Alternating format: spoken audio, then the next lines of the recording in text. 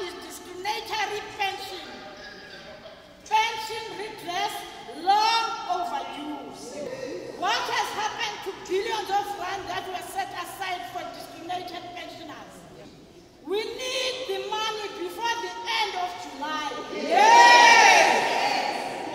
They are driving Mercedes-Benz, they are driving BMWs, they have got many homes. But some of us stay with their children because they can't afford a bond. Please, please, we voted for you.